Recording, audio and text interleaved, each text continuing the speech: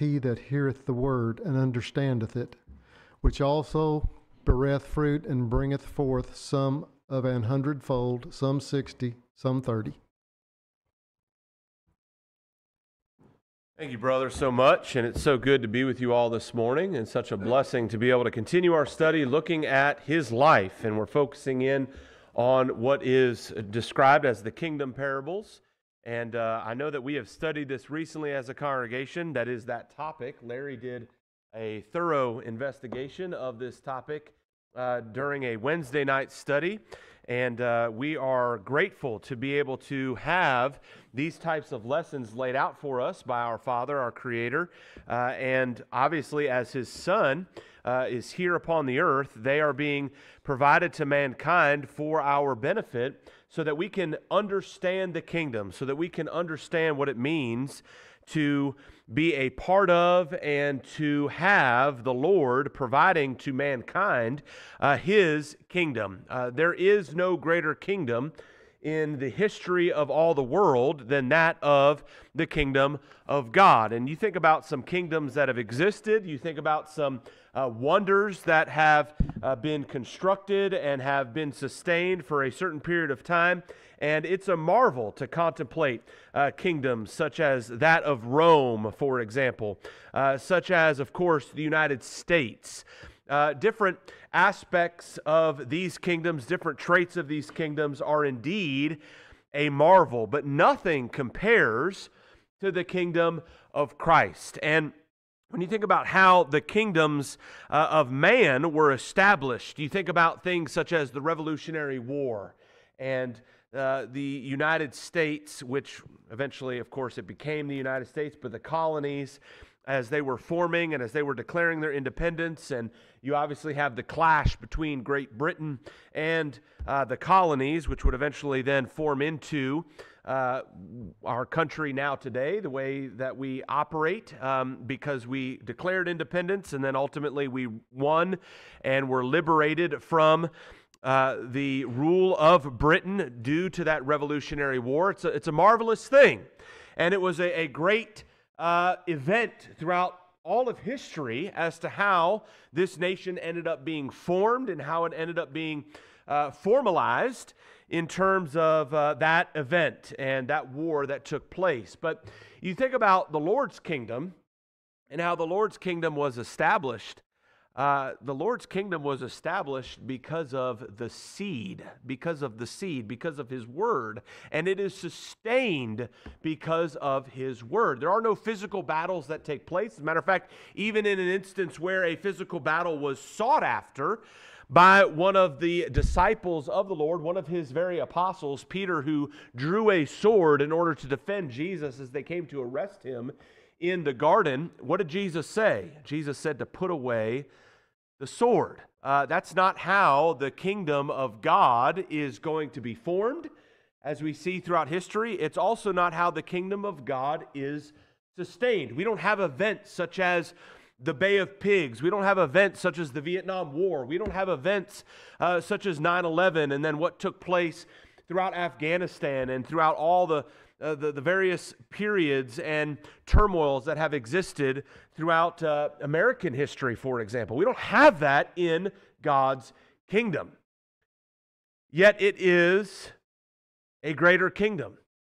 And, uh, and so, what does that tell us? That tells us that the seed that we're going to study here this morning is extremely powerful. Why? Because it brought about the birth and it also has continued to sustain the eternal kingdom, the kingdom of God. And so we're going to study the seed in particular this morning.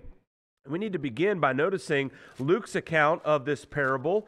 Uh, it was read, Matthew 13 and verse 23, just a minute ago, but Luke chapter 8 has the same account. And in verse 11, we learned that the seed is the word of God. And so, again, parallel this with lay this beside in, in, in your mind to great events in secular kingdom history.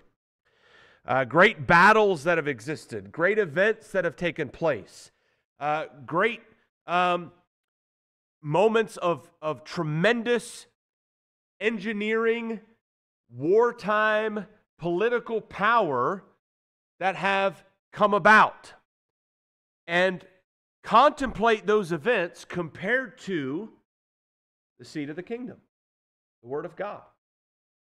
It is that much more powerful, yet, from a paradoxical type view, it seems so insignificant. I mean, I mean, look at look at the seed. Look at the, the, the smallness that exists from a physical perspective as it relates to a seed.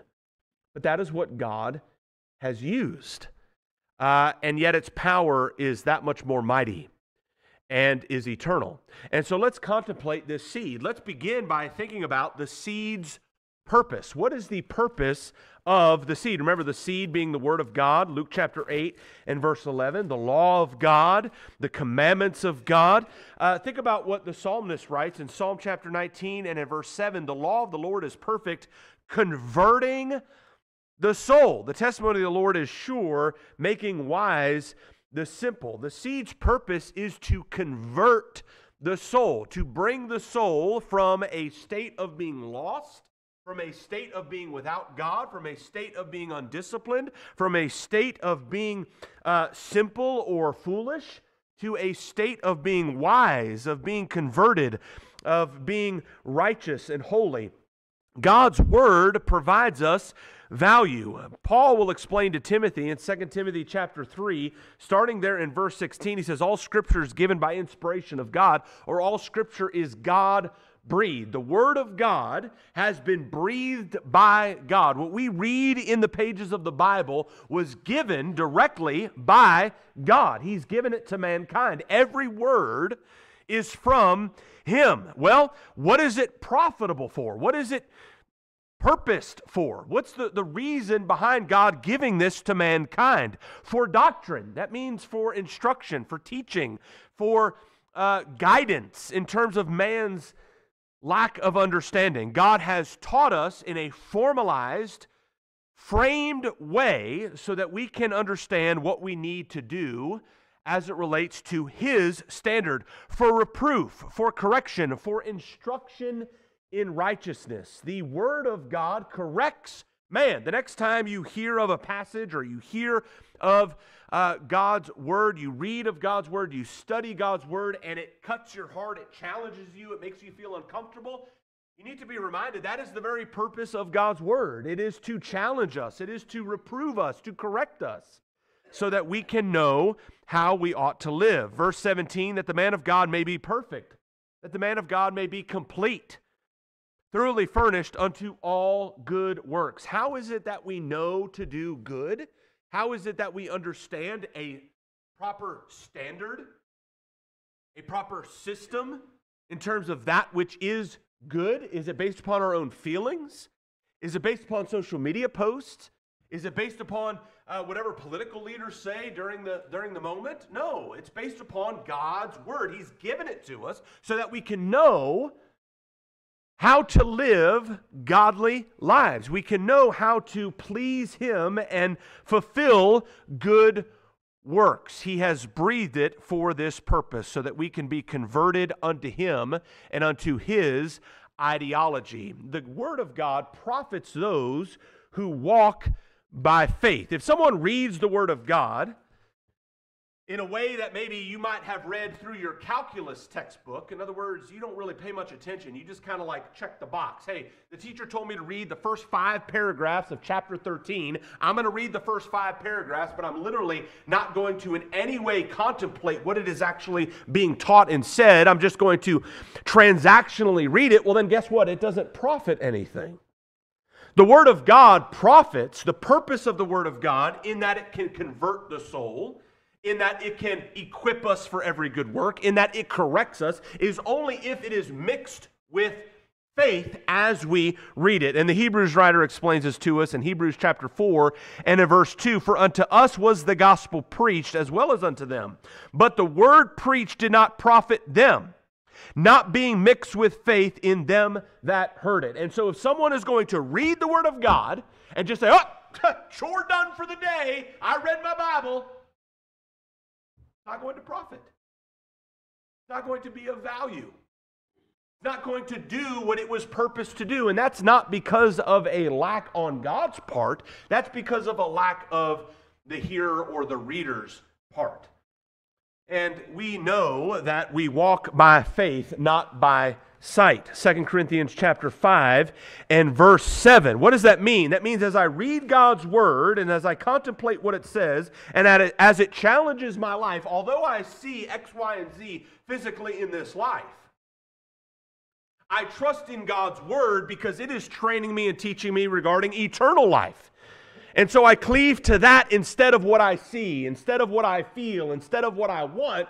I cleave to that which is in view of God's perspective. Remember, faith cometh by hearing, and hearing by the word of God. Romans 10 and verse 17. I believe in that which I cannot see, but based upon the evidence of God's law, based upon what his word describes, I am convicted that it is true. I know that it is right. I trust in God, and therefore the seed's purpose is able to be achieved. I have a question. What is your relationship with the Word of God this morning? What is your relationship? What is my relationship with the seed that God has provided mankind? Is it disregarded? Is it overlooked? Is it stored in the cabinet somewhere sealed away in a plastic bag? Is it housed deep within the heart, contemplated based upon eternal consequences and aspects? Well, that's what it's purposed to do. But that will only be achieved if we intend for that to be the purpose. How do you think about God's word in your life today. What is your relationship with the seed? We see the seed's purpose, but notice also that the seed is pure. Let's look at the seed's purity. You know, I've heard a lot of brethren before say that, you know, we just need to get the Bible out of the, you know, out of the picture. There's too much Bible involved. I've heard, I can't tell you how many brethren have held this view. You know what? That preacher, he preaches too much Bible. You know what? They, they just talk about the Bible all the time. They're just constantly engaged in Bible study.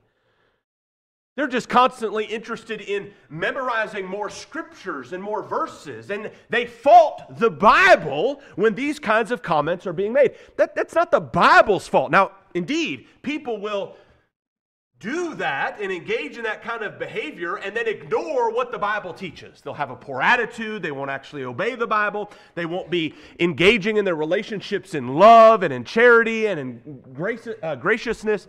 Yes, that's a problem. But that's not the Bible's fault.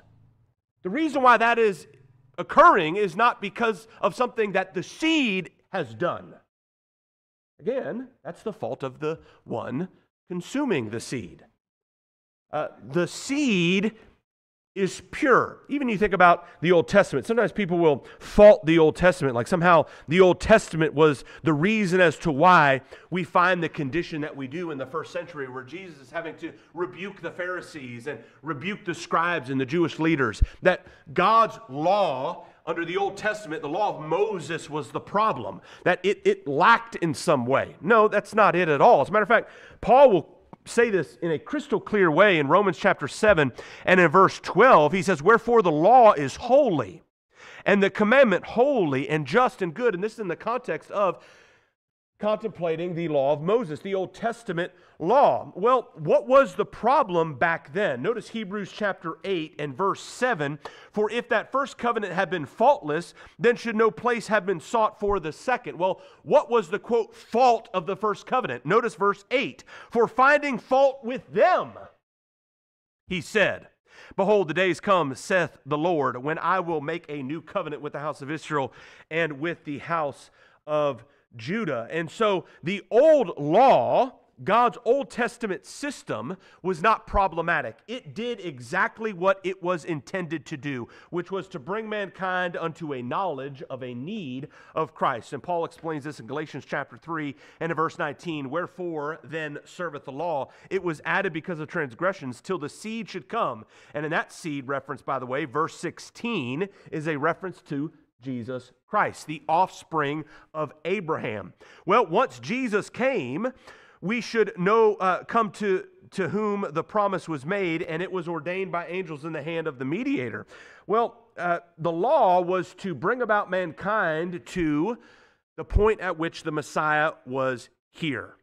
It did exactly what it was intended to do. The law itself is not the problem. Sometimes people will blame God's word. Well, God's word is the problem, they'll say. You know, people sometimes will use the Bible in ways that the Bible itself is very clear about in terms of uh, improper use. They will, as we've said before, hit people over the head with the Bible. They will yell at people in terms of Scripture. They will uh, respond in a retaliatory way, trying to throw verses here and throw verses there. And guess what? That's not the fault of God's truth. As a matter of fact, this is explained for us in James chapter 3. James chapter 3, notice beginning there in verse 14. James writes here If ye have bitter envying and strife in your hearts, glory not and lie not against the truth. In other words, don't behave in a way that is filled with envy. Don't behave in a way that is filled with strife and argumentation and trying to just cause problems everywhere you go and then blame that on the truth. You're lying against it. That's not the result of God's word. What is a result of? Wisdom that descends not from above, verse 15, it's earthly, sensual, devilish uh, wisdom. It, it, in other words, it's not actual godly wisdom. Verse 16, for where envying and strife is, there is confusion in every evil work. That's not a product, that's not an output of God's word. That comes from the world. Verse 17 What does the word of God produce? What is the wisdom that is from above? It's first pure, it's peaceable, it's gentle, easy to be entreated, full of mercy and good fruits, without partiality and without hypocrisy. The seed is pure. We see the seed's purpose, we see the seed's purity. Let's look at the seed's power. We've already contemplated this to an extent. When you think about again Hiroshima, you think about the shot heard around the world, the Boston Massacre. You think about events that have taken place throughout history and wartime, great, powerful events to establish and sustain kingdoms. None of those compare to the Word of God. The seed is powerful. Hebrews chapter 4 explains this in verse 12 For the Word of God is quick and powerful, it's living. God's Word is living. Uh, it doesn't change and become altered, but it's, it itself is alive. And so when I take it in, what does it do? Well, it's like a two edged sword. It pierces even to the dividing asunder of soul and spirit. In other words, it actually dissects who I am. It gets into my psyche, my self concept, my lifestyle, and it begins to completely break it down. And how does it do that? Well, because when God's word is applied to my mind and to my heart, it discerns the thoughts and intents of the heart. It actually defines what it is that I'm intending to do. I have a question. Why are you here this morning? Why did you make the decision to come here this morning? Was it to be right with God? Was it to be with God's family? Why is it that you are motivated to do what you do? Why do you say what you say? Why do you behave the way that you behave? What are your intents behind all of those things? Every day, we have a multitude of decisions, a plethora of decisions and, and pathways before us to choose from. God's word is able to break that down and identify why is it I'm doing what I'm doing? That's powerful. No psychologist, no counselor can do that. But God's word can. And when that is recognized, there is nowhere else to turn. Why? Because we are dealing with He who is all powerful, He who is omnipotent. He has given us His word in order to get to the bottom, the root cause of our decisions and our life. We have a great example of the power of God's word in the life of Paul. You think about Paul and what he was all about. Paul explains it to us in the book of Philippians in chapter 3.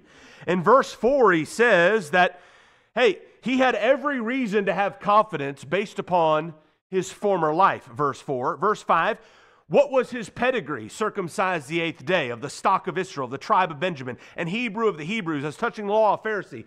Paul basically says he's the goat. When you break down these aspects that he's highlighting here, he is essentially making the case that as it relates to anything that was worthy of esteeming, worthy of high reputation under the Jewish system, under the law of Moses, Paul knocked it out of the park. He was the top of the top. And then, because of that, verse 6, he was persecuting the church because of his zeal. He was blameless in terms of his allegiance to the law of Moses. He had it made. He had everything. He had influence, he had a reputation. He was the driving force in many ways behind the nation of Israel and their dedication and allegiance to upholding the law of Moses. But something happened. What happened? Let's go to Galatians chapter 1. Let's look there, beginning in verse 13. Galatians chapter 1 verse 13. He says, For I have heard, uh, for ye have heard of my conversation in time past. My lifetime, or my lifestyle in the past, as it relates to the Jews. Beyond measure, Paul says, I persecuted the church of God and I wasted it. I profited in the Jews' religion above many my equals in mine own nation, being more exceedingly zealous of the traditions of my fathers. But when it pleased God who separated me from my mother's womb and called me by his grace. What does the grace of God do? It teaches and instructs us, Titus chapter 2, verse 11 and following, to reveal his Son in me that I might preach him among the heathen. Immediately I conferred not with flesh and blood Neither went I up to Jerusalem to them which were apostles before me, but I went into Arabia and returned again unto Damascus. Then after three years I went to Jerusalem to see Peter and abode with him fifteen days. But other of the apostles saw I none save James the Lord's brother. Now the things which I write unto you, behold, before God I lie not. Afterwards I came into the regions of Syria and Cilicia and was unknown by face unto the churches of Judea, which were in Christ. But they had heard only that he which persecuted us in times past now preacheth the faith which once he destroyed, and they glorified God in me. Paul's saying, hey, guess what? It was not because of the pressures or influences of other men as to why I am who I am today. We see Ananias telling Paul, And why tarriest thou? Arise and be baptized, calling on the name of the Lord. Acts chapter 22 and verse 16. Paul had the gospel preached unto him, and he obeyed it. And the life then that he took on, 2 Corinthians chapter 11 verses 23 and following, was a life filled with persecution and hardship. Why would someone who was living high on the hog, who was reaping all the benefits physically of the Jewish religion,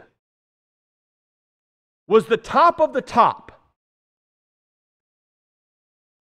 enjoying all the privileges and luxuries that came with it, throw all of that away and take on a life filled with persecution. Well, Paul explains it actually, going back to Philippians chapter 3. And in verse 7 and 8, he says, It's because he counted everything loss for Christ. As a matter of fact, he goes on and describes it that he counts them but dung that he may win Christ. In other words, it doesn't matter how great those things were physically, I wasn't right with God. And the Word of God convicted Paul. So he turned around his life in order to be right with God and then took on a life filled with persecution and hardship. That's the power of God's Word. The gospel is the power of God unto salvation to everyone that believeth, to the Jew first and also to the Greek. Romans chapter 1 and verse 16. Uh, folks, Hiroshima was a wake up call for all of society.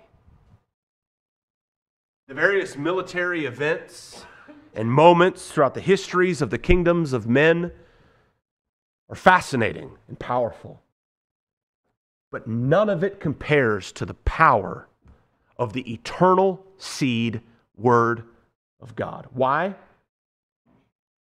Because it has the ability for us to humble our stubborn will and yield to our Creator, dedicating our entire lives to Him, no matter what the cost. The seed is powerful. The seed is also persistent. Let's look at the seed's persistence. It's persistent in the sense that God has a plan for his seed to constantly be planted and to constantly be watered. You think about that from a personal perspective, Paul will tell Timothy in 2 Timothy chapter 2 and verse 15, study to show thyself approved unto God, a workman that needeth not to be ashamed, rightly dividing the word of truth. Personally speaking, God expects the seed to be persistent in our lives, constantly being fed the seed, the Word of God, constantly watering the Word of God personally in our lives. Well, you might say, well, that's hard. That requires discipline. That requires intentionality. That requires making up my mind that I'm actually going to put aside time during the day to do that. Notice the verse 2 Timothy 2, verse 15. Give diligence apply effort, a workman that needeth not to be ashamed. Work is required. And God has established that for us personally, but He has also established that, the seed's persistence, from a congregational perspective. Acts chapter 20 and verse 7, we learn that on the first day of the week they come together, and what happens? Paul is preaching to them. Now, he continues his speech until midnight. We don't do that here. But Paul did that then. And on the first day of the week, we see the pattern, the apostolic framework for the church meeting on the first day of the week and having the word of God declared, which is valuable and persisting in terms of the seed's power. I don't know about you, brethren, but you know, I, this morning in our Bible class, what a gift. What a gift. You couldn't pay me a billion dollars compared to what I got to experience this morning. Wow. Why? Because the most powerful source that we physically have access to in this world was shared through a multitude of perspectives intertwined together in the body of Christ to bring value to uphold and sustain faithful living. That's God's plan. God's plan is that we're able to come together to be fed. Verse 28 of, of Acts chapter 20. The overseers, the shepherds, the elders, what do they do? What are they charged with? Acts chapter 20, verse 28 to feed the church of God. What? The seed. what a blessing. The seed is persistent. In our personal lives, as we continually study, and in our congregational interaction with one another, as we continually feast upon it together as the elders see to it that we are fed as a congregation and as a sheepfold. But the seed is also persistent in that a willing heart yields sustained growth. You know, a seed is fascinating. You see the stages there of seed growth and development. And you contemplate what's taking place. A stalk is actually vertically growing from the ground, having penetrated the seed shell, having then persisted in its growth to then yield what it is potential and what it's capable of. Well, God's word is able to do that. Luke chapter 8 and verse 15 a good and an honest heart is going to produce fruit a willing heart yields to the Word of God, and the Word of God then begins to intersect within our set ways and mentalities, and we begin to question and we begin to contemplate and we begin to ask ourselves whether or not we have an answer. And it begins to take root and it begins to persist within our minds. You know, when we were in Arequipa, I think we've said this to a few folks here, but one of the things that Carrie Gillis told us constantly while we were there our job was to put other souls in the possession of the truth. Give souls an opportunity to have possession of the truth. Why? Because the seed does what it's supposed to do it persists. And as we begin to contemplate our life comparative to the Word of God, we begin to realize I don't have an answer for this question. I need to change my life. I'm living in a way that I should not be living. I need to actually make a change. I need to do something differently. I need to take action. Because the seed is growing in my heart. The seed is persistent. And finally, the seed produces. Let's look at, contemplate the seed's production. Number one, the seed brings fruit for the master. In terms of our behavior, you think about what Paul explains to the Galatians as it relates to the fruit of the Spirit in Galatians chapter 5. The fruit of the Spirit laid out there for us, verses 22 through uh, 23, all those traits and all those characteristics highlighted for us. And then you also contemplate what Jesus tells us in John chapter 15, it's recorded there, verses 1 through 6.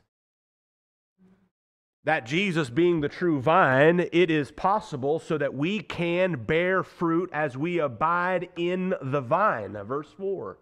We're able to bring fruit to our master. But there's also heavenly destinations as it relates to the production of the seed.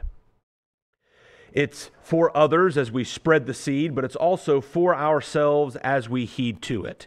You think about what Paul tells Timothy in 1 Timothy chapter 4 and verse 16. He says, Take heed unto thyself and unto the doctrine, continue in them, for in doing this thou shalt both save thyself and them that hear thee.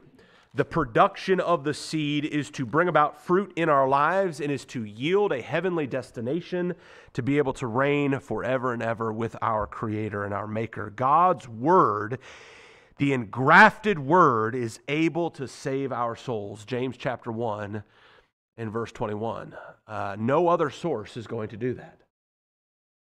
No other source. Only the Word of God. What a blessing it is to have access to his gracious seed. Maybe you're here this morning and you're not yet a child of God. You've not yet made the decision to do just as Saul did in Acts chapter 22 and verse 16, as he was commanded by Ananias there to arise and be baptized, washing away his sins. Have you done that yet this morning? If not, you have the opportunity to do so. If you recognize that you have sin in your life, what is sin? It's a transgression of the law. If you have transgressed the law of God, then that means you are in a sinful situation. What is the wages of that? Romans chapter 6 and verse 23 death. But the gift of God is eternal life through Jesus Christ, his Son. What a blessing it is that we can obey the gospel and be baptized and have our sins washed away based upon our belief and confession in him as we see exemplified in Acts 8, 34 through 39. If you're ready to do that this morning, we're here to assist you. Brother or sister, if you need to be restored, if you need prayers of the congregation, we hope that you'd come forward. We're here to help you in any way that we can. If you have any spiritual need, please come forward. As all together we stand and sing. There's a great day coming, a great day coming, there's a great day coming by and by.